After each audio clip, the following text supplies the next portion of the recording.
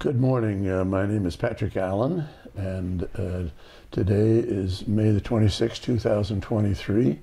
I am an interviewer for the Veterans History Project for the Library of Congress.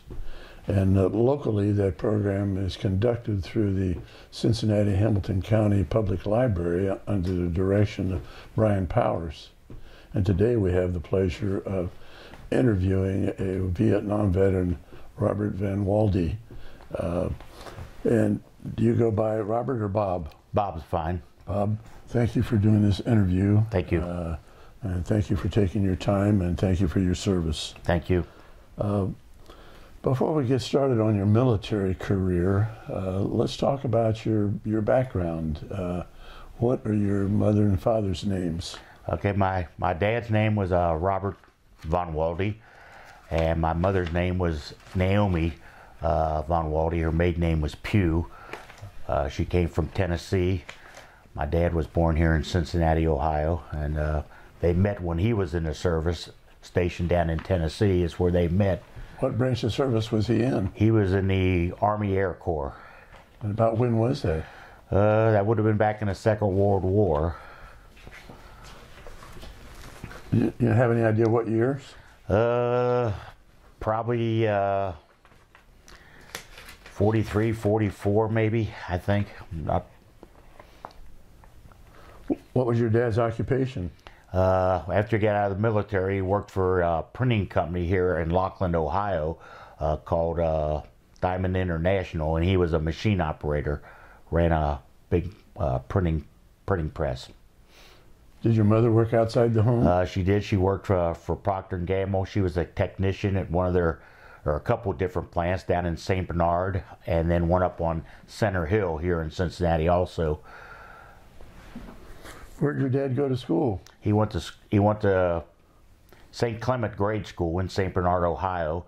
Then he went to Roger Bacon High School in uh, St. Bernard, Ohio. Graduated from there, obviously. Graduated from there, yes, sir. How about mom? Where did she go to school? Uh, she went to high school down in Dyersburg, Tennessee.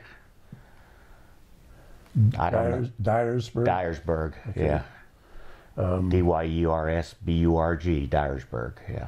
Did uh, she work after graduation from high school before she got married? I think she had some jobs at a couple different stores or restaurants or something like that, but I don't think she really had a, you know, a full time job. They got married and uh, moved up here to Cincinnati.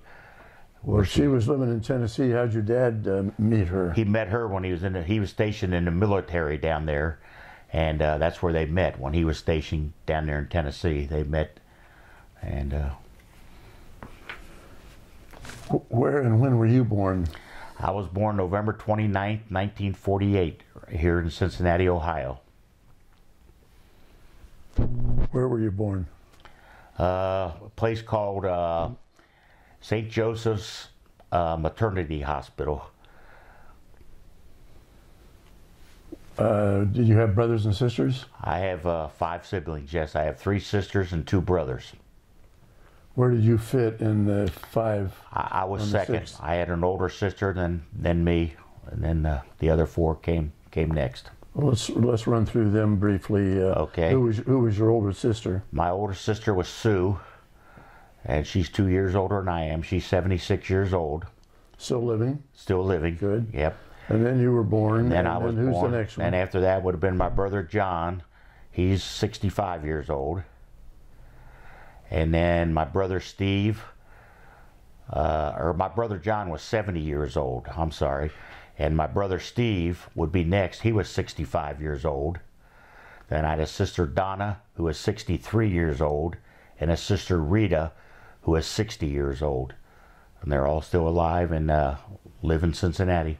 oh, they're all in Cincinnati all, area. all in Cincinnati Well, area. That's great. Do you have a chance to get together with them frequently? get together pretty frequently. Yes. Super. Yep. Uh, what what does Sue do? Is she employed? Uh, she's not employed. Uh, earlier in her career, she worked at a, a savings and loan. But for the last many years, she hadn't worked outside the home. Sue married. Sue's married. What's to, her What's uh, her married name? Uh, Bible. She's married to Greg Bible. B I B L E. B I B L E. Yes, sir. Right. And is her husband still living? He's still living also. Yep. Right. How about your brother John? My brother John, he's married to Linda, and uh, they live in uh, Anderson Township.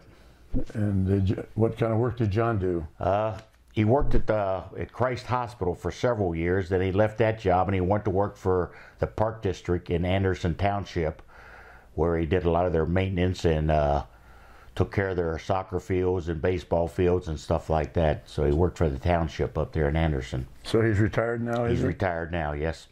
How about Steve? What kind of? Steve, he's an he's an attorney. Uh, he worked many years for in the legal uh, for uh, Macy's department store. Uh, a few years ago, they cut back and he got let go there.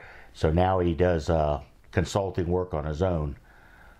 So he still practices. He still practices, yes. Uh-huh. Well, I'm an attorney too, and I still practice. 'cause I haven't gotten it right yet. Yeah, How about Steve? Is he married? he's married to Gail. Yeah, Uh, how's, how's Gail spell her name? G A I L or G A Y L E? G A I L. How Donna? Donna, uh, she worked for an insurance company, a big insurance company downtown for several years. But here for the last 20 or so years, she's worked at the St. Bernard High School uh, Board of Education in their office down there. Uh, Donna married. Donna's married to Tim, Tim Spradlin. So her name is Spradlin now. Spell Spradlin for us. S P R A D L I N. All right. And Rita, your youngest. Rita, uh, she works like customer service on phones. Uh, I think she mostly works out of her home. Uh, she's married. Who, who does she work for? Uh, boy, you know, I don't know off the top of my head who she actually works for. What, what's her husband's name? Her husband's name is, uh, oh gosh, why do I do this? Russell, Russell Heidorn. Heidorn. Heidorn, H E I D O R N. Right. What What's Russ do, or is he retired? Uh, he worked for a machine company out in Woodlawn, Ohio. What does he do there? Do you know? Uh, he just runs some type of big equipment. I'm not exactly what Machine operator of some sort. Yeah, an operator of some sort. Yes, sir. All right. So uh, let's uh, talk about yourself. Uh, you you were born uh, November 29th at St. Joe's, and then where did you live at that time with the family? I lived at, uh, in St. Bernard, Ohio, on 324 East Ross Avenue, which is only about a mile from where I was born. It was right down the street.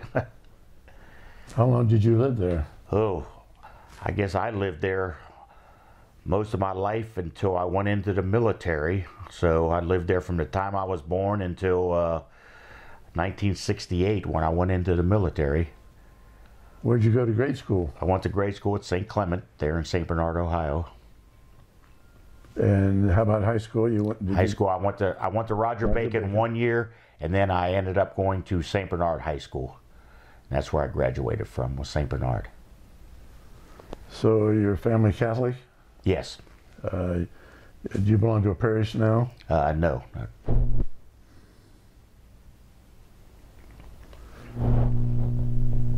Did you work while you were uh, going to high school? Did you work? uh, I did. I worked at uh, King's Pharmacy there in St. Bernard. I was a clerk. And I, I delivered newspapers. So at King's Pharmacy, uh, when, when were you working there? What what? How old were you, or what grades were you in? Uh, I was probably a junior when I was a, probably a junior and senior in high school. I worked there, I assume. All right. And how did that come about? Did you work just after school or Yeah, weekends? or- just worked after school and some weekends. Uh, yeah, Saturdays. I believe he was closed on Sundays, but yeah, on Saturdays I worked. What did you uh, What did you do there for the pharmacy? Uh, I waited on customers when they came in. I stocked shelves, just whatever he needed me to do. You know, straightened up the place if it needed it, just whatever. Well, with going to school, attending classes, and working at the pharmacy, I'm ass- I'm assuming, and maybe wrongly so, that you didn't have time to get into sports. Yes, I did. I ran track and cross country at St. Bernard. Well, good. Uh, what, what did you run in track? Uh, tra- Stand by. We need to stop tape a second. Uh, we, we were talking about uh, your, your sports. What did you run in track? Uh, track, I was mostly a sprinter, but uh, being from a small school and a small team, sometimes you had to run a little extra. So I ran the 100, the 220, the 440, uh, relays, broad jump, so several different different uh, things, low hurdles.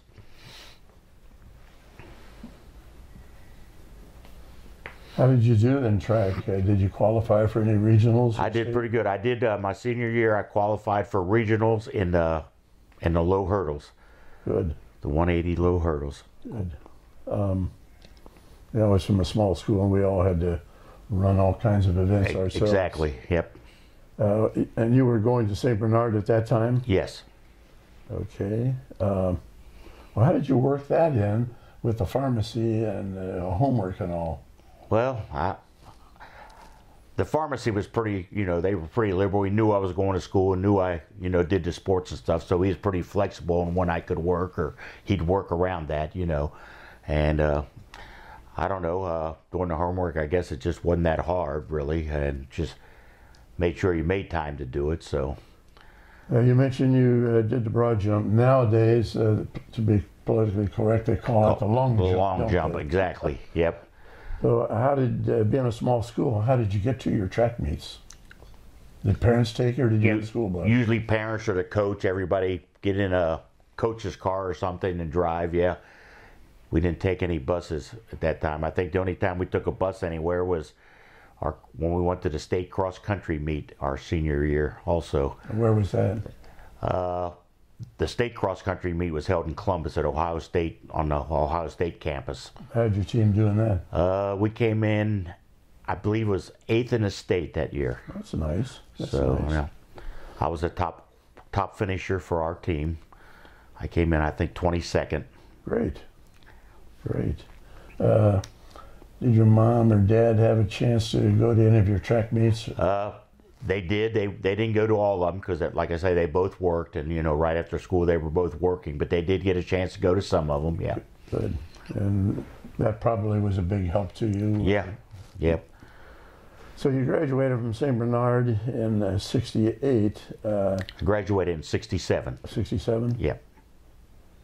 And when you graduated, uh, did you go to work or did you enlist? Uh, I started to go to college for a while. Where? Uh, I went to UC, uh, and it just wasn't my thing.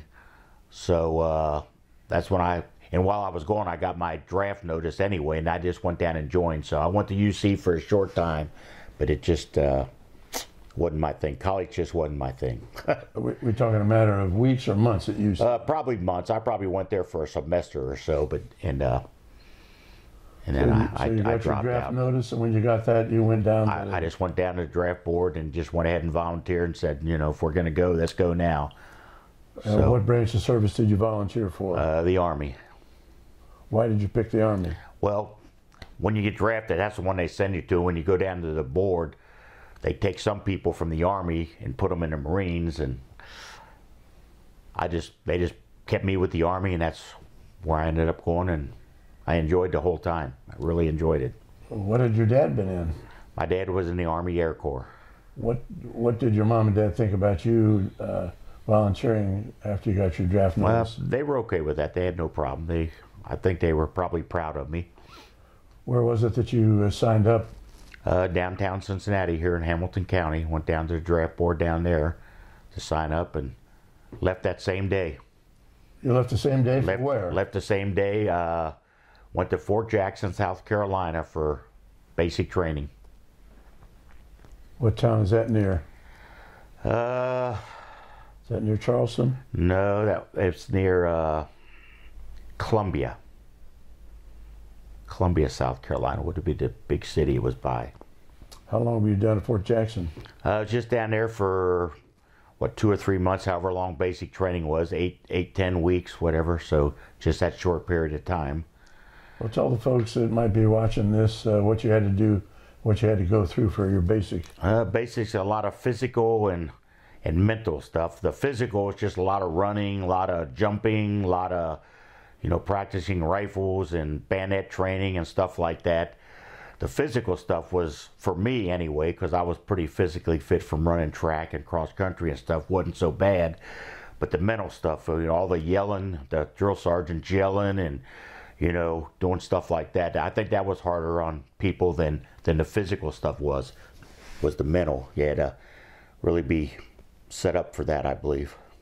Going through that mental aspect of it, did that help you when you got uh, into uh, uh, into Vietnam? I, I believe it did. Yeah. Right. Yeah. Where'd you go from Fort Jackson? Uh, from Fort Jackson, I went to Fort Leonard Wood, Missouri. Uh, that was for advanced infantry training, and that was the same same amount of time. You know, two or three months for the training. How long were you there? Uh, just just that two or three month period, just long enough to take that training, and from there it was straight from there to to Vietnam. Did you have time to go from uh, from Fort Leonard Wood to uh, home before you went to Vietnam? Did did come home for a short short time before I went to Vietnam, uh, maybe a week or something. Not very long, but did come home before I had to ship out. Did you have a girlfriend during high school? Uh, Joyce, my wife, my present wife, we were together in high school.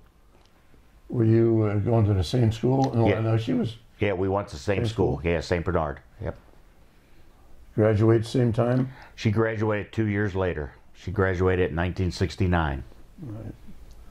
So uh, you got a younger woman going with you. Yeah, sure do. All right. Got a younger one. Yeah. So uh, did you communicate with her when you were at Fort Jackson and Fort Leonard Wood? Yeah, yeah. Called whenever I could, which wasn't too often. When, excuse me, when you're going through training, but uh, wrote letters. Yeah, we stayed in contact the whole time. Did you ever have Did you ever have a time before you came home for that week or so uh, uh, before you went to Vietnam? Did you have any time to uh, spend weekends or anything going home to see Joyce or your parents? No, no, not at all. Uh, so you go to Vietnam. Uh, where do you go uh, to uh, leave the states? Uh, we left uh, from the state of Washington.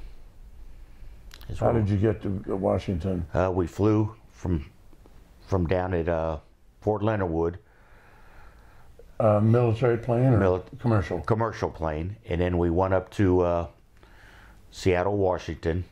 I forget the name of the fort that was up there where they process you and stuff. I don't even remember the name of it, tell you the truth. And from there, we took a commercial flight to Vietnam. Then Where did, did you have any stopovers between Uh, uh, Washington and Vietnam? I think we stopped over in Hawaii and Guam, and then I think Vietnam. get off the plane at either Hawaii or Guam. Uh, we get off the plane just long enough to stretch our legs or something, not any time to do anything. I think they let us off just to walk around the airport a little bit, the terminal while they were refueling, and then uh, got back on and continued on. All right. Uh, I, I show that uh, you you signed up, uh, volunteered on April the nineteenth of '68. Is that correct? That sounds probably pretty close, yep. Right.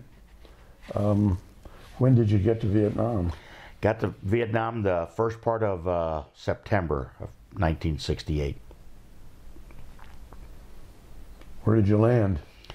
When we got there, we landed Cam- uh, Cameron, Cameron Cam Ranh Bay. Bay. Cam Ranh Bay in Vietnam. On the map, that would be right in this area right here. And while uh, our cameraman is Tom Lee, and Tom has helped me with a number of these uh, interviews. He's from Cincinnati and is from a military family, and he does a great job. So while he's looking at the while he's looking at the uh, camera at the map, why don't you go ahead and show us some of the places where you were, and then we'll talk a little bit more about each one. Okay, we we like I said, we arrived at Cam Ranh Bay, went through our processing and stuff, and got assigned to our units. Uh, from there, I joined my unit at a place called Ban Me Thuot, right in this area here, is where I joined our unit. Uh, I also spent time in Pleiku. That's where our big place uh, base camp was for the Fourth Infantry Division was Pleiku. I also spent time in uh, and Dak To. So I was all in the anywhere in the Central Highlands area of Vietnam. That would be two corps, is what the military called it, and that was the Central Highlands. Okay, so uh, the first place you went after you landed was uh, Ban Me Thuot. Bambi Tuit was the first place I went after And you I say landed. you joined your unit. What was the, uh, the designation of your unit? Okay, I was uh, C Company, 1st Battalion, 22nd Infantry, 4th Infantry Division. Uh, tell me that again. C Company. C Company, First fir- Battalion. 1st Battalion, 22nd Infantry, 4th Infantry Division. When you, when you uh, was assigned to the Unit C, um, did you have any of your fellows with you that uh, you had gone through any of the basic trainings with? Yep, uh, there were several of us that went through uh, the advanced infantry training together. We we went over there together. Uh, might not have stayed together in the same units. Once we got over to Cam Ranh Bay, we you know some of us got sent to other infantry divisions, and uh, but I did fly over with some that I went through training with. Did you serve over there with any of your buddies? Uh, nope, none of the ones that I went through training with were was I with. Nope. Did you come across any fellows from the Cincinnati area that you knew? You know, it's it's funny. Uh, before I got assigned to my unit, when I went into Cam Ranh Bay, uh, big air base there, uh, they have people unloading the planes. So of course, the new people when they come, they take them to they help unload the planes and stuff. And that's so that's what I did. And it's funny. I went to a guy working for the Air Force in charge. He was uh, in charge of unloading these planes, and he lived about two blocks from me in St. Bernard, and he was the first guy I met when I got there. He said, "You hang with me. You don't have to unload these planes. You just hang with me." So that's that's what we did. That was so nice. Yeah, but it, it you know it's just a funny story that the first guy you meet's a guy you grew up with, lived two blocks down the street, that was in the Air Force. It's not going to happen very often. No, it's not. No. Wow. Although if you ask my family, they said no matter where I go, I run into somebody I know. So It's a small world yeah, sometimes. yes, it is. So, uh, uh, how long were you there before you went to the, your first assignment? How long was I at Cam Ranh Bay? Yeah. Probably a matter of days, two or three days, just for them to do the processing, issue your equipment and stuff like that. So just a matter of days. What did you do at uh, Ban Me Thuot? Okay, that's where I joined the unit, and uh, I no sooner got there, and we ran uh, what they called, what the fourth, or what our unit anyway called Green Eyes. Uh, they were like uh, two or three men groups went out as like an early warning for the main company, uh, just to keep eye on you know uh, any activity in the area, you know any Vietnamese, Viet Cong troops in the area. We weren't supposed to make any contact or anything. We were supposed to just be an early warning system, you know, radio back to the company, hey, there's movement out here in this valley or whatever, and let them know what's going on. And so I was probably there a day or two, and I got sent on one of those, what we called green eyes. So that's like a that's like a reconnaissance. Yeah, like a reconnaissance patrol, yes. Mhm. Right. And when did you when did you do that? Would you do that in the daytime or nighttime? Uh, well, you- you'd go out for like two or three days at a time. You would usually leave early in the morning. And you would go set up somewhere, try not to be seen, of course, uh, because you we, we weren't supposed to make contact or anything, just observe. And uh, so you go out, and then we'd spend two or three days out there, and then go back to the, the main unit. And then uh, they did that constantly. You know, they send three or four out at a time, you know, in each direction. And uh, How were you dressed when you go out as a Green Eyes? uh, just our regular, you know, jungle fatigues, just our regular uniform. And when you were out there for two or three days, what uh, what accommodations did you have for sleeping and eating and the like? Well, we, we had our, you know, our ponchos and stuff, you know, to help keep warm or keep dry if we needed, if it rained. And we took C ration with us, you know, to eat. How was the weather there? The weather most of the time was hot as can be. Certain times of the year during the monsoon season, it would rain and rain and rain, and it. You never saw any rain like that here before, but it was awful wet. Let, let me take your mind back to when you first landed uh, in Vietnam. Uh, got out of the got out of the plane. Were you were you uh, um, influenced by how hot it was or by any odors uh, when you got off the plane? Well, it was awful hot. And you say, you just think to yourself, boy, this is going to be rough being hot like this, carrying all this equipment stuff around. But I guess you eventually get used to it because uh, I don't remember really being so bad after, you know. But you, when you first get there, you say, boy, it's hot over here, you know. When you'd go out for your two or three day uh, uh, ventures as Green Eyes, uh, how much equipment did you have to carry weight wise? Well, you carried your own ammo for whatever kind of weapon you were carrying, and you always carried. Usually, somebody would have a machine gun with them, and so you would always carry extra M60 machine gun ammo. Also, you would carry your, you know, three or four hand grenades. So you carried quite a bit of equipment with you. And did you carry a machine gun at all? I, I never carried a machine gun. When I was stationed over there, I had an M79 grenade launcher, is what I carried when I was in Vietnam. Uh, and how many grenades did you have to carry with your launcher? Uh, I probably carried, I don't know, 15 or 20. They had a vest like you could put them down in, had places to put the ammo in. You know, wasn't a whole lot. So. So you had you had yourself carrying a grenade launcher. Did you have a fellow carrying a machine gun? Mm-hmm. And did somebody carry extra ammunition for the machine gun? Yes, yeah. Usually everybody carried a little bit of ammunition for the machine gun. So did you do that too? Yes, yes. So you got all your hand grenades, you got the grenade launcher, you got ammunition for the machine gun. Correct. What what else did you have? Well, our food, uh, like I said, our ponchos and stuff for sleeping and keeping dry. So, you know, it, How was the food? uh, you got used to it. At the beginning, it wasn't so good, and there were some that was better than others. When they opened up the C ration box, everybody fought for the good stuff because there was some stuff that was pretty nasty. Some of the guys have told me that uh, some of the C rations were from the Second World War. I think they might have been, but uh, but there were some of them like uh, beef and potatoes wasn't so bad. There was some kind of turkey loaf wasn't so bad, but there was some green beans and something. It was it was nasty. Nobody nobody wanted that. Everybody looked for the C rations that had the fruit in it too, because it was always good to get the fruit. The fruit was always good. They canned fruit, so everybody fought for that. When you were out in your reconnaissance operations, did you get into any villages, or were you just the uh, outskirts of villages? Uh, well, we went on those green eyes, we weren't near any villages. Now, when we were moving as a, a complete unit, uh, we did pass through villages or, or on the outskirts uh, at times. Did you, I'd say the majority of the time, though, we were out in the middle of nowhere, most of the time you're just out in the jungle? out in the jungle. Yes, out in the middle of who knows where. How about the uh, animals, uh, vermin, snakes, anything like that? Yep, ran into snakes several times. Uh, and there is a funny story talking about running into animals. We were on one of these green eyes, and we would take turns. There was three of us, so we'd take turns sleeping and watching, you know, for a couple hours at a time.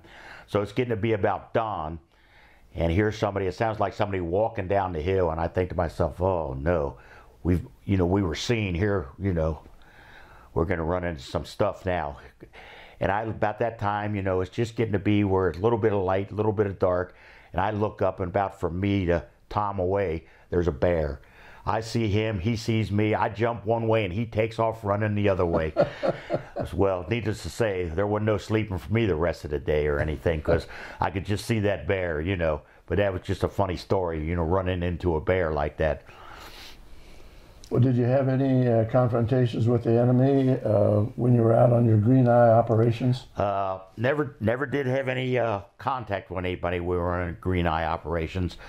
Uh, one time we did have an enemy patrol, probably walk past us maybe 50 yards away from us, but they didn't know we were there, and uh, they just went on, and things were fine.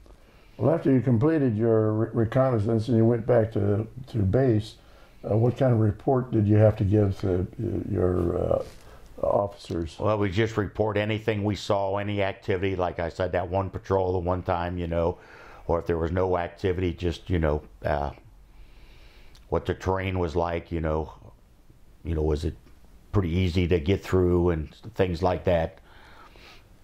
So did you uh, did your your your uh, unit move as a unit from any place uh, back in the jungle before you went to Pleiku?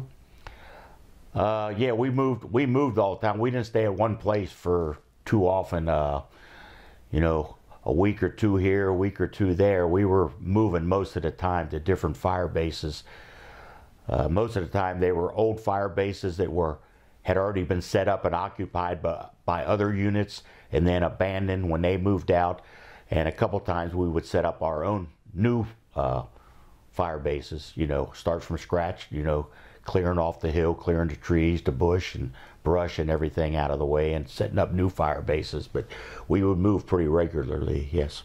For somebody that's uh, not going to be familiar with uh, uh, military terminate, uh, terms, uh, what was a fire base? Okay, fire base was more or less like a, I guess you'd call it a, a more permanent uh, base for you to hang out. But like I said, it might only be two, three, two, two or three weeks we'd be there.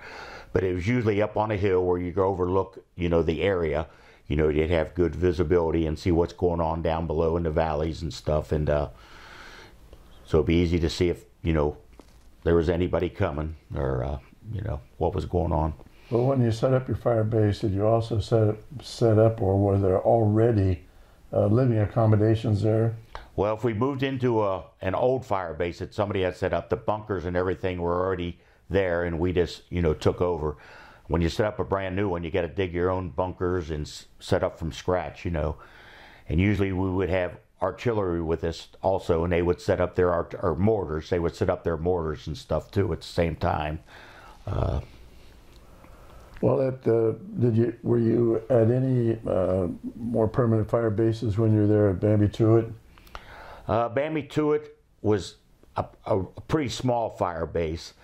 Uh, you, I guess Dak To around the Dak To area was probably the biggest and biggest fire base that I spent time on, and uh, probably spent more time there than any other place uh, our big fire base, that's where the whole Fourth Division was out of, was in uh, Pleiku.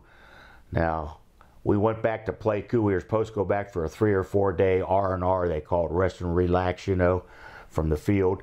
Well, we got in there one night, and the next morning we left out again, and that was the only time until I got wounded that I saw Pleiku until I, you know, left. But other than Pleiku, you say Dak To was your biggest fire base that yes. uh, you went yep. into. Yeah. Mm-hmm. Uh, did you have any uh, contact with the enemy uh, at any time during Ban Me Thuot? Uh, not at Ban Me Thuot. Didn't have any any uh, any contact with anything. At Dak To, we had some. I guess VC, Viet Cong, whatever, snooping around, and they would fire, you know, just trying to, I guess, get us to fire back to get our locations more accurate and stuff, but nothing nothing major at that time. More harassment. More harassment, right? Yeah. So did you go to Dak To from Ban Me Thuot, or did you? Uh, when did you go to Ta? Uh, what was it? Con, Kontum. Kontum. Uh, they were all in the same same general time frame. Like I said, we didn't spend time at one place for two or three weeks, so I don't remember if I was at Doc, I was probably at Dak To first and then Kontum somewhere afterwards. I think Kontum uh, was later, uh, right before we came home, probably right before I came home after we after I got wounded and came home. What were your duties uh, when you were at Dak To? Well, it's the same thing when you were stationed. If you were worn out on one of those green eyes, you were, you know, you had perimeter duty at night and during the day, you know, so you would take two, three hour, four hour shifts, you know, and uh, just alternate all day and all night, you know. Tell, tell us about your perimeter duties. What did those consist of? Well, just keeping watch for the whole company, making sure, you know, that uh, you're not being snuck up on by any of the enemy troops. Uh, just make sure you know what's going on, you know. How did you protect the perimeter of the fire bases? Well, you had the machine guns out there, the M79s, you had your mortars, you know, you, you had your M16, you had wiring, concertina wiring around the whole thing. uh, probably several layers of it. You'd probably have some and then have, you know, a gap in between and have some more. Uh, so yeah, plenty of concertina wire. Did you have any uh, enemy in, infiltrating any of your fire bases while you were there? Never did. Like I said, most of the time was just harassment. You know, trying to look for places and stuff, and uh, but never actually had anybody infiltrate any of our fire bases.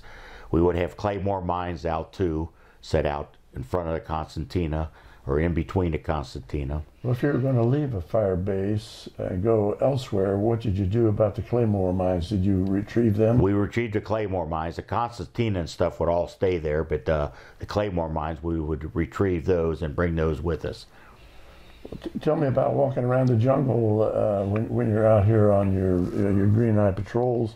Uh, what precautions did you take as far as uh, uh, booby traps or anything? Well, yeah, you always had to be on the lookout. Uh, we ran into, discovered many booby traps. You know, luckily, uh, while I was there, no one actually tripped a booby trap or, uh, you know, we saw them ahead of time and were able to disarm them or go around them.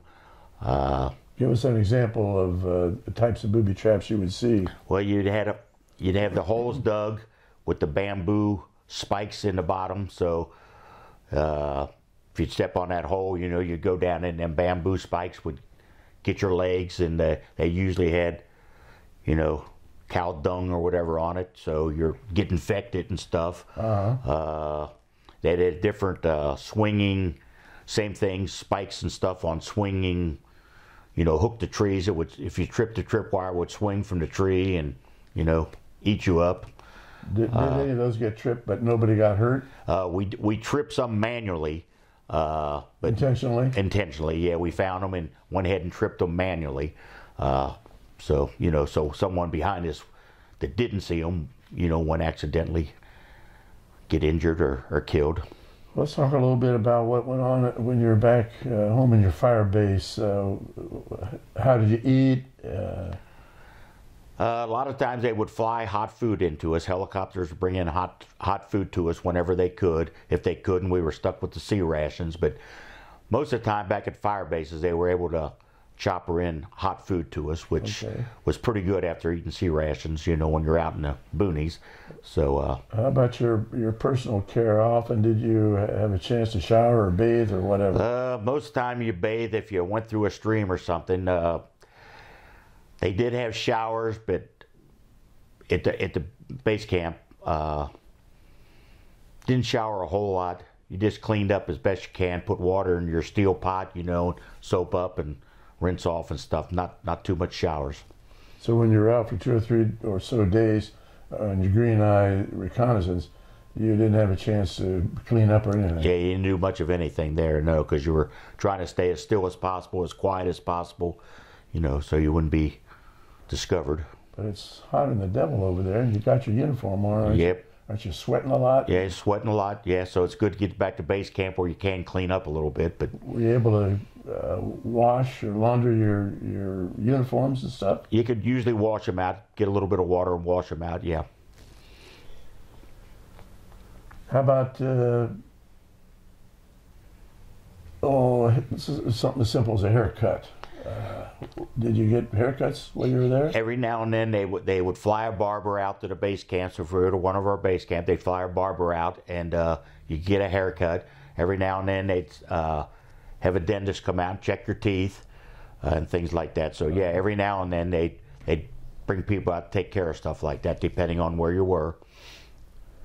Did you have any health problems? Uh, you, you told us you got injured, but before that, did you have any health problems? Any diseases or anything from the environment? Well, I think uh, I was on a couple patrols and I started to really get weak and tired.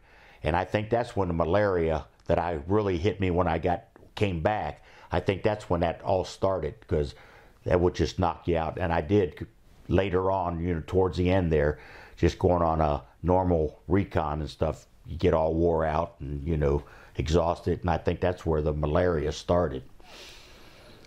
Well, we've talked about you carrying a grenade launcher. Did you carry any other weapons on any of your green eye reconnaissance? Nope. All I carried was a grenade launcher. Well, tell us about the, the uh, occasion when you got injured. Okay, well, this was a, a big uh, big operation. There was several several different companies and several different uh, divisions were going to sweep through this valley. There was a What was the name of the valley or the area? I believe it was it's in the Central Highlands. Uh, it was west of Kontum, and if I remember correctly, it was Kudon Valley, C-U-D-O-N, Kudon Valley. Like I said, that was west of Kontum, close to the Cambodian border, and that we had intelligence that the uh, Viet Cong were uh, coming down Cambodia and into Vietnam and uh, building a big uh, bunker complex and bringing supplies and stuff, stuff. And we assumed they were getting ready for a big offensive against us, against Kontum is what we thought. So it was our job to find this big bunker complex and try to neutralize it and cut off the supply route into that area. And so that's what we were doing when I got wounded. I was on the uh, the initial, uh, I guess, platoon or whatever that was going ahead of the main unit to to check out the area first. And we got so far away from the unit, we got ambushed and we got cut off from the main main unit. Uh, How many guys were in your uh, in unit at that time that was ambushed? uh, probably six or eight of us, I guess. All right. and uh, so we were. They they had a handheld uh, mine they blew up on us. They they detonated themselves, you know, when we got to a certain point. Then there were snipers also there, and machine gunners and B-40 rockets. So we had quite a fight on our hands when we got down there. Uh, So you six or eight guys are are attacked with all of this. Uh, yeah, we're kind of pinned down. And then uh, when they heard the racket up above, uh, some more people from the the unit came down to try to give us assistance. And one of my good buddies, uh, sorry, he got he got killed coming down to help us. Well, he he was one of the fellows that came to render assistance. He Right. wasn't part of your first six Right, right. He was one that came down. Uh, I don't think any of the ones that came down on the initial movement. Uh, I think probably all of us got wounded, some more serious than other, but none of us, none of us got killed. How did you get wounded? Uh, had that that uh, mine blew up on me, and I had shrapnel. I don't know, in my legs, in my face, in my arms, just a little bit of everywhere. No, I know that you got a, a bronze star. Is that where you uh, were active when you later was awarded the bronze star? Yes. So tell me about what you did to uh, merit the uh, um, the bronze star. being Well, we got wounded. Of course, we fought back and stuff, and uh, tried to drag some of my buddies that were wounded. You know, tried to drag them out of harm's way. Harm's way. Well, what what what was the environment that you guys were in when uh, when you got ambushed? Was this was this out in rice paddies or was this? No, this was in the middle of the jungle. It was in a jungle area. Um, were you able to save some of your buddies through your conduct? I think so. Like I said, none of us on the initial movement were we were all wounded, I believe, but uh, none of none of us died. Some of us wounded pretty seriously, uh, and just tried to get them to safety. And uh, finally, after being down there, felt like forever, and it was probably only a couple hours. Uh, we called in artillery, calling it in awful close to our position. You could hear it cracking off the tops of the trees. It was coming in so close to us because that's how close the ambush was. Uh, we finally, you know, got rid of the threat and we were able to get back up the hill to the uh, to the to the main unit where they had cut out a LZ for the choppers to come in to uh, take us to the hospital. You know, get us. We had to get to an open area to get the choppers in there. Well, they they they cut an open area in the jungle. It was a very small area they cut, uh, and so we finally got up there, and that's where we get. I finally got my uh, medical aid. So when we got back up there, uh, Were you able to walk up there? yeah, I was able to walk. Yeah. Well, this article says that uh, um, you were engaged uh, by uh, unknown size of North Vietnamese force, and uh, you were moving forward, uh, was severely wounded at the moment of initial contact. Undaunted by your wounds, you crawled through the intense enemy fire uh, to aid other members of your platoon who were also wounded. Now, you told me there were six or eight of you. Did all six or eight of you get wounds? I, I think as far as I remember, we did. Uh, it says you personally carried several men from the battlefield. Well, it was more or less drug them from the battlefield or drug them out of harm's way. Uh, actually, to get them up the hill, it was the the guys that were coming down to help us to assist. They did most of the most of the carrying and carrying up the hill or helping us up the hill because we were all. Is that when your buddy got killed? When He got he got killed as he was coming down right after the initial attack on us. They heard the fire and he got a squad together real quick and they came down and he got he got uh kind of bad with a machine gun. Mm-hmm. But, uh, did you help to move him out of the? I, I personally didn't help move him. No, uh, he wasn't moved until after the threat was subsided a little bit, and uh, then we were all able to, one way or another, get back up the hill. How long did this entire encounter um, take? like I said, it's, it seemed like it was all day because it was starting to get dark, but the jungle was so thick. So what? It was probably only two or three hours. I mean, but two or three hours when you're under fire is a long, long Seems like a time. lifetime, Yeah, it sure did. It sure did. So uh, you were removed from the area by helicopter, medevac. Yes, medevac by helicopter. What what kind of uh, helicopter was it? It was a, a Huey. That's what they used for the medevac. They had to make several trips because they could only get a, you know, two or three or four of us on at one time. So they had to make a couple trips. Was the helicopter under fire? Uh, At the time, no, it wasn't under fire. Everything was kind of settled out at that time. Now, could you tell when your your uh, enemy opponent was uh, Viet Cong as opposed to uh, North Vietnamese? Were they dressed the same? Well, usually uh, Vietnamese army actually had uniforms, where the Viet Cong didn't have uniforms. They would just wear their civilian attire or whatever. So you, could usually tell them that way if you, if you were able to see them. The North Vietnamese army actually had uniforms. Okay. They were they were more uh, formally dressed. While you were in this uh, in this battle where you got ambushed, uh, could you tell? Did you see any of the enemy at all? Yeah, we did. There was a sniper up in the tree, and off to where what would have been my left, there was a a couple couple guys over there with B-40 rockets. In fact, they they fired one towards us, and it landed probably 20 yards in front of us, and it was a dud. Thank goodness. So, but uh, and then there was behind us. There's a big, huge tree. I remember, and when they cut us off with this uh, initial contact, they surrounded. This is what they did. This guy with machine gun was behind that tree, and it we he was our biggest threat, I think, because we couldn't get to him. And that's who ended up killing my buddy when he came down the hill, the guy with the machine gun. But eventually, he also got killed. So, and that kind of, I think, when we took him out finally, that kind of settled things down again. Okay. Uh, did you see him during or after, uh, whether he was a North Vietnamese or a v- V- He was a North, he was a North Vietnamese uh, regular army. I didn't see him on the way up the hill. He was laying there dead. All right, so uh, uh, they evacuate you from from this uh, ambush area, uh, Kudan Valley, Uh huh. uh, and they took you where? Uh, went to the hospital back at our base pa- uh, base camp in Pleiku.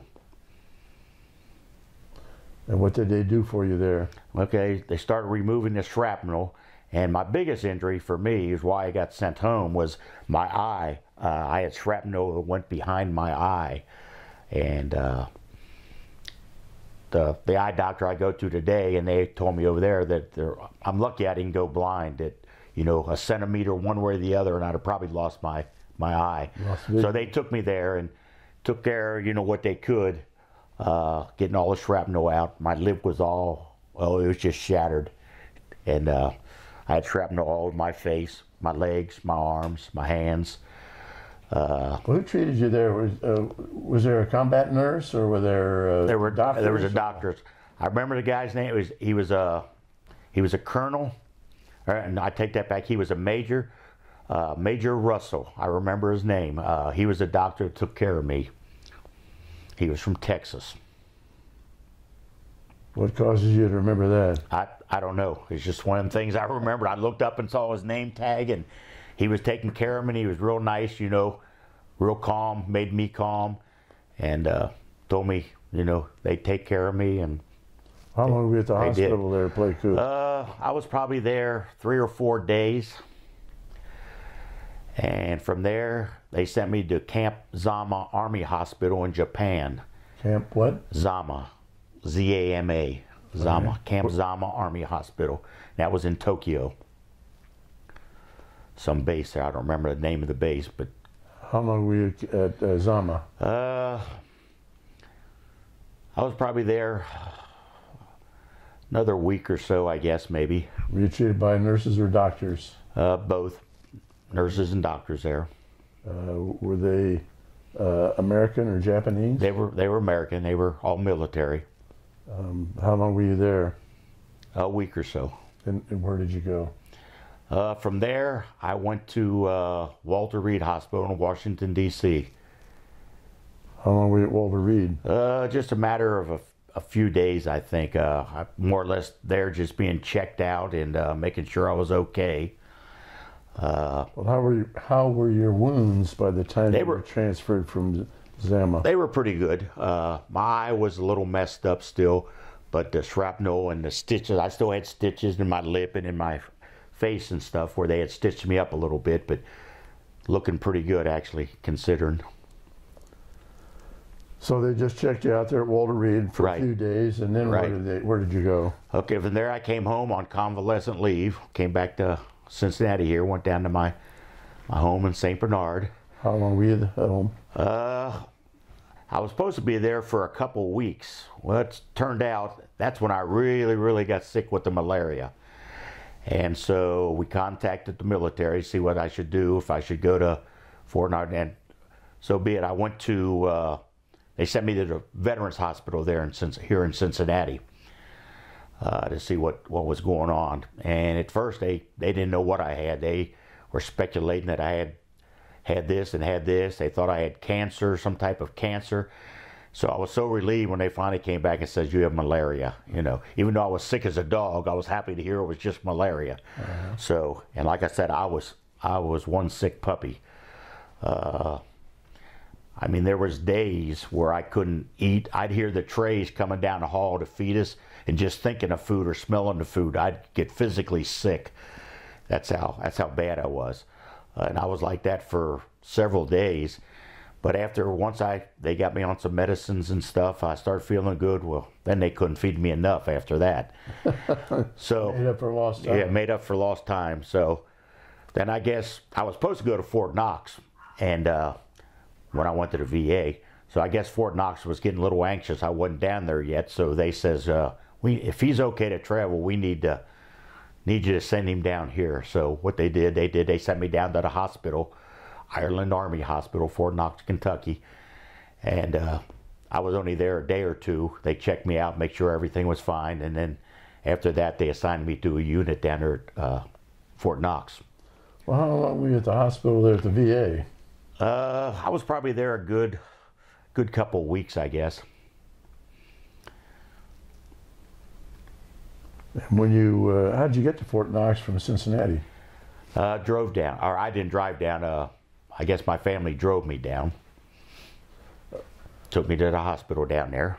Well, let me uh, take you back to when you got back to see your mom for the first time after coming back from Vietnam. Where was that? Is that when you had your convalescence? Yes, when I was on home on convalescent leave. Yep. And when she saw you and the, and the injuries you had, what was her reaction?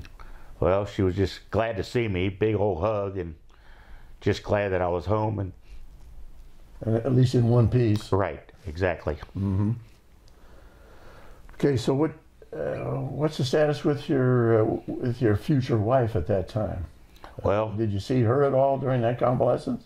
Uh, yes, I did. In fact, when I was in uh, Japan, I got to call home, and I, I did call my parents, and I called my my girlfriend at the time. Joyce? Yeah, and uh, I got to talk to them from Japan, let them know that I was okay, and uh, so Did you did you send mail and receive mail while you were over in Vietnam? yes, all the time. Yep, anytime we could sit and write a letter, that's what most of the guys did, sat and write letters, and they were pretty good with getting mail to us. You know, they'd chopper it out whenever they could when we were, you know, as long as we were at a base camp and not out in the middle of the jungle somewhere. If we were at a base camp, they would they would get it to us. Did anybody uh, monitor uh, the letters that you sent out? No, not as far as I know. No. Was was it pretty well understood that you weren't to give any information in about where you were and what you were doing in the letters you sent home?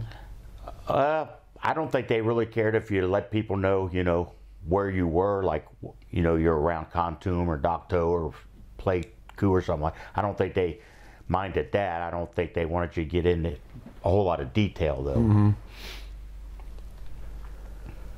So uh, you go to Fort Knox, and uh, what was your assignment at Fort Knox? Fort Knox, I was assigned to a basic training unit. Uh, I was an AI, an assistant instructor. I assisted the drill instructors who, you know, went to school to be a drill instructor. I basically was one of their assistants, helped teach classes and uh, do things like that. Were you one of the guys that did the mental mental uh, stress on the uh, new recruits? I probably did, yes, sir. yep, I sure did. Uh, you, you had learned well from your own drill instructor. Right. I don't think I was as bad as some of mine because I knew what it was like, but uh, but So it's were, probably a good thing because you know they need to get used to that kind of pressure and stuff. So what were your accommodations there at Fort Knox? uh, when I at Fort Knox, I lived in I actually lived in the barracks with the with the basic trainees. I had a s- separate room. Um, I had a separate room in the barracks. Uh, How was the food? with the troops. Food at the it wasn't so bad uh, at the mess hall. They had they had pretty good food. And I suppose you really enjoyed Fort Knox because you could take a bath or a shower whenever you wanted. to. Right, and I could come home on weekends, which I did a lot. I came home just about every weekend. Did you see Joyce on those weekends? Yeah, yep. And me and a buddy, we would. Uh, he had a car down there. I didn't have a car, so we would uh, drive back and forth. And he'd pick me up on the way back down, and we Well, what was your rank uh, when you went into service? What was your rank? Okay, when I, when I went in, I was a private E1 or whatever. And when you got to Fort Knox, by that time, what were you? Uh, I was a Spec 4. Did you have any battlefield commissions? No.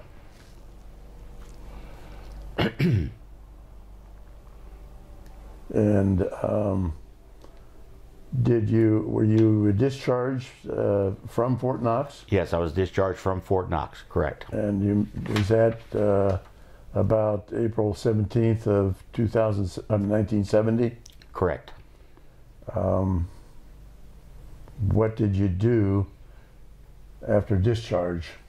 Okay, uh, I went to work for the U.S. Post Office, Where? da- uh, downtown Cincinnati. What did you do? I ran a sorting machine. It would sort the mail by uh, zip codes. Letter go past, you see the zip code, you type it in, and it would just continually go. You just did that for eight hours. What what'd you do with uh, with Joyce uh, after you got discharged? Did you uh, ask her to marry you at any particular time? Uh, we stayed together, and uh, see, I got out in '70, and we we ended up getting married in 1971. Where'd you get married?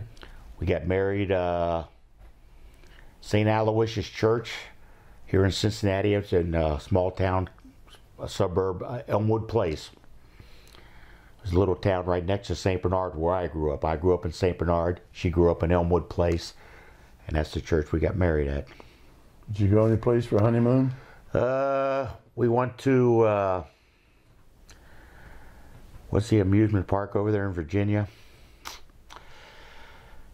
Can't think of it. Uh, Busch Gardens. Over by Williamsburg. Yeah, over by Williamsburg. That's where we went. Correct. Okay. Yep. Uh, did, did Joyce have uh, siblings? Uh, she did. She had uh, three brothers, a stepbrother, and a stepsister.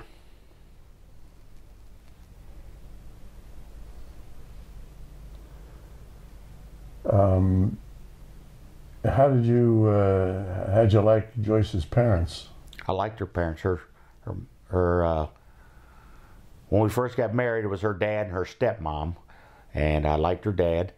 Her stepmom was wonderful, and then several years later, I met her real mom, and uh, she was nice, real nice too. And uh, Good. So when you and Joyce got married and you got back to the honeymoon, was she, did she work any place? Uh, she did. Uh, she worked. She co-opted for Procter and Gamble while she was still in high school. then once she got out of high school, she continued to work for Procter and Gamble. So you're working for the post office and she's working at Procter? Right. Mm-hmm. So uh, then uh, we haven't talked about your family. Uh, when did you and Joyce start having children? Okay, our son was born in 1975. He was born in uh, Frankfurt, Germany. He was born while I was in the military over there. Well, that that makes me uh, get back into uh, your re-enlistment. Uh, what brought that about? Well, I had always planned on making a career out of the military. So even though I got out the first time, I wasn't really sure, you know, if I wanted to stay in or not. And then after I did get out, I said, you know, I should have should have stayed in there and made a career of this. And so after two and a half, three years thinking about it, I decided, well, I'm going back in and do this. And so I did. I went back in in 1973. I showed September 24th of 73, That sounds probably about right. and you signed up in Cincinnati, I signed up in Cincinnati back again. Back in the Army again. back in the Army again. Where, where'd they send you this time? Uh, I think for basic training, I went down to Fort Leonard Wood, Missouri, I believe. and sa- same kind of basic training you Same kind of basic training I had had before, yeah. Except at this time, the drill sergeants weren't near as bad. They were still bad, but not near as bad as they used to be. They kind of backed off a little bit, I think. Oh, that was good for you, right? Yeah. So, uh, how long were you at Leonard Wood? Uh, probably same thing, uh, eight, ten weeks just for the training. Then where did you go? Uh, from there, I came up to Fort Knox, Back to Fort Knox again? back to Fort Knox again. I was in a uh, cavalry unit for some training. What kind of training did you have in the cavalry unit? Uh, just on different vehicles and uh, M114s, M113s. Uh, Were those tanks? no, they were small, small personnel carriers. Okay. They were. Uh, I was a couple different units down there. The last one I was at was uh, the 10th Cav. Years ago, they were known as the Buffalo Soldiers. That was the black Army unit groups, the Buffalo Soldiers, Uh-huh. where they had a unit where they weren't black anymore, of course, but uh, 10th Cav down there at Fort Knox. That's the unit I was assigned to before I went over to Germany. How long were you at Knox? Uh, let's see, September. Probably six or so months, maybe for the For the cavalry training? right. Yeah. So, um, were you married when you went over to uh, Germany? Yes, I was married when I went to Germany. Got married in uh, September 11th of 1971, and I went over to Germany and uh, hmm, might have been around September of '73. So she go with you? Uh, n- not at the time. She didn't go over when we first went over. Uh, she came over uh, she was about seven or eight months pregnant when she came over. She came over in 70. I, I take that back. I didn't go over there in 73. I went over in 75. 75 is when I went over. And that's And when your son was born. That's when my there. son, yeah. I went over in probably September.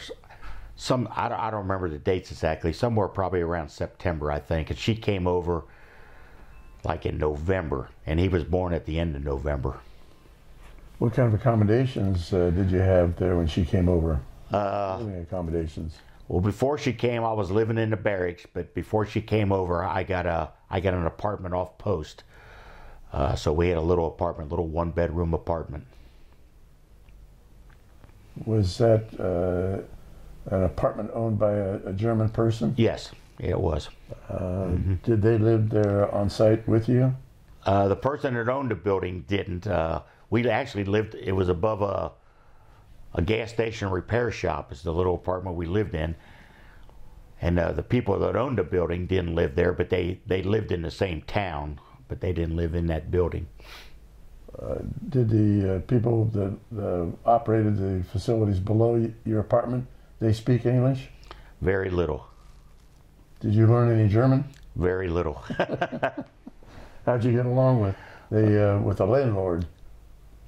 didn't have much dealings really. The landlord knew a little bit, enough for me and him to get by. You know, uh if we had a problem, we could call and he could come fix something. So uh, Did you have an allowance uh, pay wise for your wife?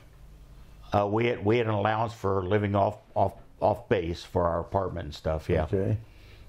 So then your son's born while you're there. correct. And did you stay in that apartment or did you move from that apartment? No, we stayed in that apartment the whole time I was over there.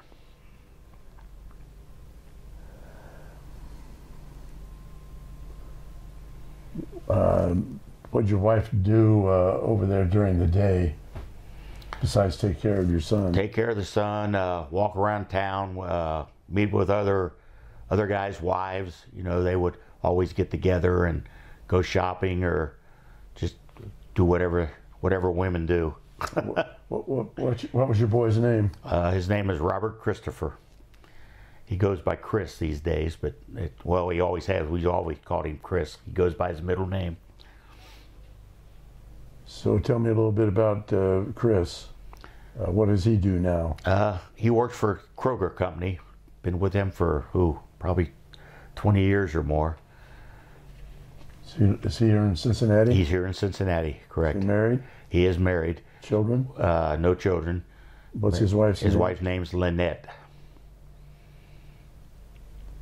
All right. Uh, did you have any other children while you were in Germany? No, Have any when you got back? nope, just got the one son. Just the one son. Mm-hmm.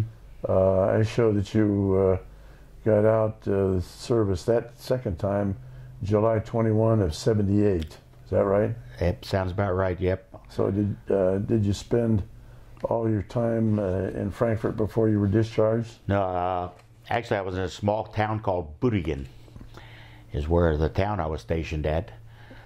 What did you do there? Uh, I was in a CAV unit, and I was a track commander for a M551. It's a light uh, reconnaissance vehicle. What did you do when you were in Frankfurt? Uh, never was in Frankfurt. Uh, like I said, I was I was a small town called Büdingen, is where I was stationed. So you went to Frankfurt, but you were actually Yeah, Frankfurt's where my son was born, because Okay. that's where the hospital was. All right. Uh, but I was actually stationed in a small town called Büdingen. okay.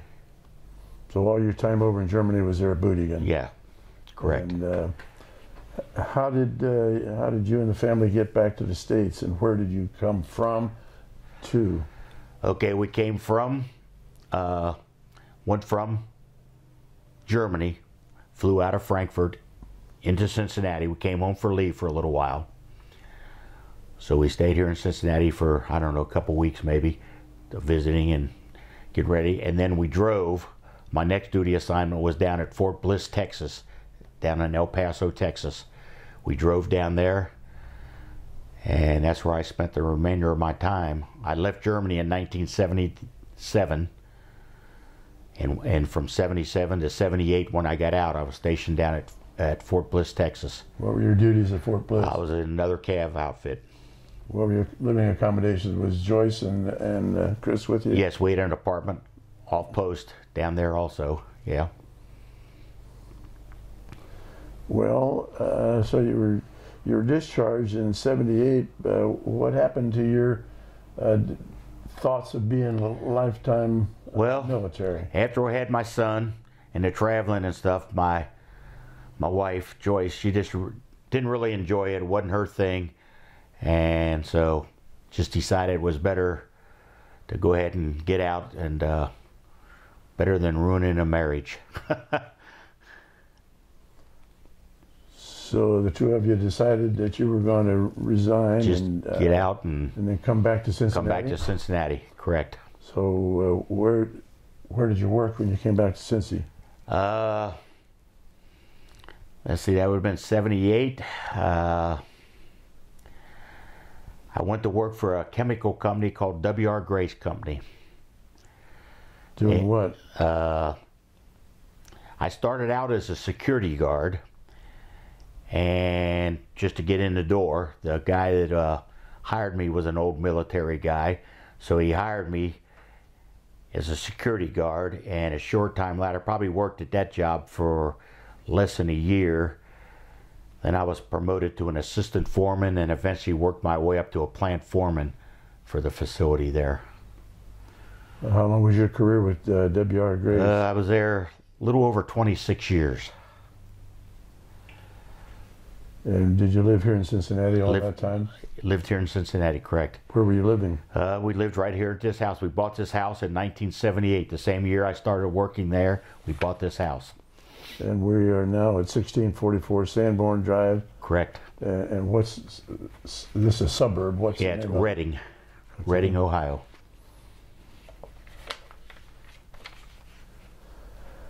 So after you uh, after you left Grace, um, what did you do? Well, uh, I DJ'd, DJ'd as a hobby for about 40 years, uh, doing weddings, proms, you know, school dances, stuff like that. I would do that a lot on the weekends. Uh, also did a lot for St. Bernard High School. I was president of their boosters group for a couple terms.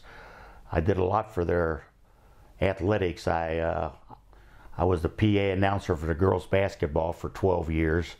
I kept the scorebook for about the same amount of years for the boys. So I did various jobs for different uh, sporting events, you know, for the for the school down there.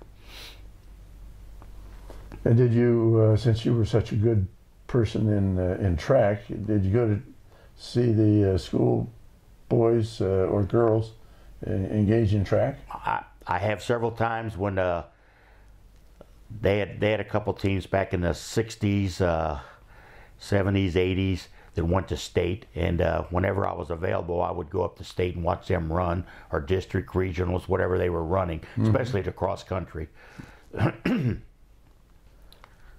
So, but after you left Grace, uh, did you have a paying job other than doing your DJ? No, nope. I was when I retired. I completely retired.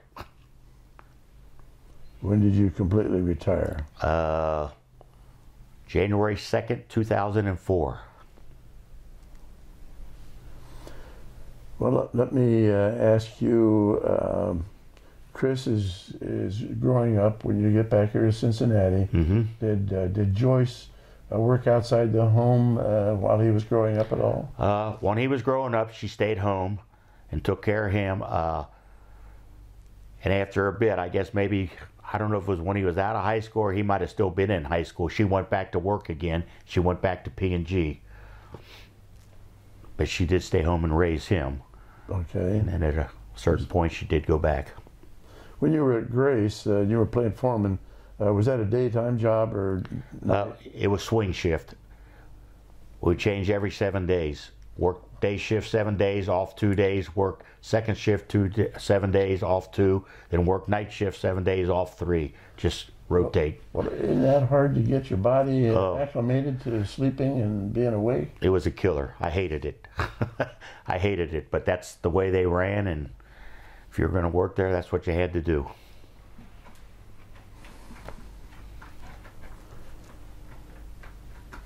So, uh, besides your your Bronze Star, On your knee. Pardon? Set it on your knee so it's stable. Thank you. Keep talking. So this is your Bronze Star you got. When did you actually get the medal itself? Uh, I think I actually got the medal. I guess it was following me around the world after I got wounded. Uh, because I didn't actually get the bronze bronze star and the Purple Heart till I was stationed down at Fort Knox, Kentucky, and it it showed up down there and uh, they presented it to me down there at one of the formations. You also uh, were were awarded a Purple Heart. When did you get that? Uh, that I was awarded that at the same time. Uh, it was for the action on April 3rd, 1969 in Vietnam. And I actually received that also down at Fort Knox at the same time I received my Bronze Star. Bronze Star. All right.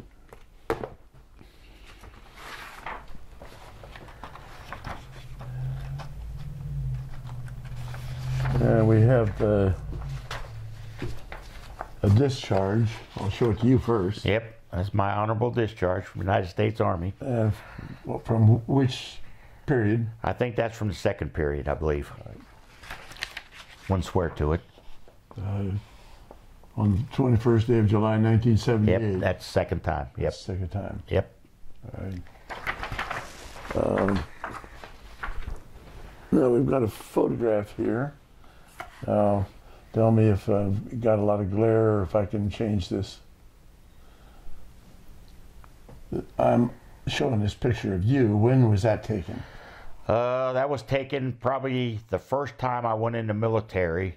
So that was probably back in 1968 sometime. And what what is this called? Uh, that's my infantry cord. Uh, different branches of the service have different colors. Infantry happens to be blue, so that's my blue infantry cord. All right. And the uh, the ribbon across uh, okay. your chest on the left side. That ribbon there is just a national defense ribbon. Everyone that goes into the military receives that that award, the national defense ribbon. Marksman. Pardon? I see a marksman badge. Yeah, probably, probably a expert for for rifle. Uh, that. Yeah. That's that's below the ribbon we were talking about. Correct. When did you uh, get the marksman's? Uh, got that when I went through basic training the first time. Got that for being export expert marksman with the rifle. I got another funny story if you want to hear it about it. I said those medals followed me around the world. I got another another funny story about around the world. While I was in Vietnam, my sister Donna, she was a Girl Scout selling Girl Scout cookies. And I says, huh, I'll be the nice big brother. I'll sell some cookies over here in Vietnam to my buddies for. So I did. I asked all my buddies, you want to buy some Girl Scout cookies for my sister? You know, pay me when they get here no problem. I'll pay for them up front. You pay me when they get here. They said, okay. So I order all these cookies, something like 360 boxes of cookies I order. so I order these cookies. Well, meantime, this is when we got in into all the stuff. You know, we got into battle and we all got wounded and got sent here and got sent there and everything. So I've got all these cookies. I'm in the hospital in Pleiku. Here these cookies start coming while I'm in the hospital. So I take these cookies from Pleiku, I give them to the Red Cross. I said, here, give these cookies out to the guys. You know, I can't do nothing with them. You know, the guys that bought them, they're gone. You know, they're different places. So I gave them cookies. So I go from there, I go to Japan. Here come more cookies. Follow me to Japan in the hospital. So I take those cookies. I say, give them to the Red Cross. Give these out to the guys. Okay. So I go to Walter Reed. Here come more cookies. Follow me to Walter Reed. Same thing. I give them out, you know, say, hey, give these to the guys. I can't use them. I go home on convalescent leave. Here come cookies. So, so I give them out to family and stuff at home. I get down to Fort Knox at the hospital down there. Here come more cookies. So same thing. I said, here, just give these out to whoever. So those cookies that I ordered for my sister followed me all around the world. I mean, everywhere I went, here come them cookies. But my sister was number one salesman that year for selling cookies. it was just a funny story, you know. Is that uh, they followed me all. You you think somebody would take them and eat them, or you know whatever, but nope. Here they came. They came and followed you. Yeah, my mom and the the school, the uh, they took care of the charges. They packed them all up and paid to have them shipped and stuff. Uh, and uh, yep, they followed me around the world. So, yep. Uh, you know, we've been here for, gee whiz, uh, we've been here for almost two hours talking about you, hour and a half ish. Uh, is there anything we haven't talked about? Any stories like you just told us that uh, you think somebody a year from now might be interested in knowing about you or your Nah. family? I don't think so. Uh, I guess I'm sad that I haven't kept in contact with a lot of guys I was in Vietnam with. I've tried to keep in contact with a couple of them, and for a while I did, and then they kind of got a little, I don't know if they got depressed and stuff, withdrawn. They just didn't want to talk to people no more, so I kind of lost contact with them. Now, people in Germany, uh, I'm still in contact with a lot of them, gone to several reunions, so I'm, I'm glad of that because. Uh, Where do you have these reunions? uh, they have them different places every year. They try to move them so people from different parts of the country can get to them. They've have them in Washington D.C., down in Georgia. They've had them out in Illinois, out in Colorado, Texas. They try to move them around so people from different parts of the country don't have to travel so far. And uh, when do they have these? Every two or three years? uh, every year, usually, year? yeah. Uh, a lot of times they used to have them in the summer, but it got to be some places like down Fort Bliss, we would have one, or down Fort Benning, Georgia. It gets so hot, and some of the older people. So now we're starting to have them later on in the fall and into the early winter. Like I think this year is going to be down at Fort Bliss, Texas, in November. So Well, how is your health now as far as uh, any of your battle wounds or your malaria? Uh, haven't had any trouble with malaria, so I guess the doctor told me you either get it real bad and then you're usually good, or you get a slight case and then you carry it on for life. I had the real bad case and never had any problems since. Uh, everything seemed to heal up good. I got some small scars places. My eye, my eye doctor, every time he sees me every year, he, he's just amazed because he, he, he takes a picture of it and he can see where, uh, you know, where the shrapnel went in and everything and it, where it's where it's scarred, it's all kind of scar tissue on there he can see. And he said, you sure were lucky. He said, you know, a centimeter or so, one way or the other, just the slightest little bit. He said, you'd have lost that eye. Mm-hmm. And he says he shows that picture to his colleagues and they just can't believe it. Have you So been back to Vietnam or desire to go back? I would like to go back. Vietnam was a pretty country. And I know they do have tours. I don't know that I'll ever go back, but uh, I wouldn't mind going back because it was a pretty country with the mountains and the jungle and stuff. But uh, at this point in my life, I'm getting pretty old to travel too far. Wh- When you were over in Vietnam, uh, did you visited at any of your base camps or major camps uh, by by the USO?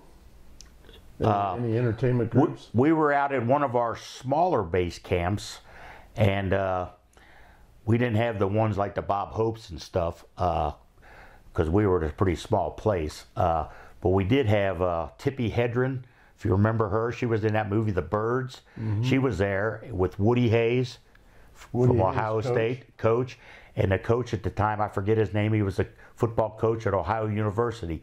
They came out and visited us All right. which was very nice because I was a big Ohio State fan anyway. So seeing Woody Hayes was a big thrill for me. So, yeah.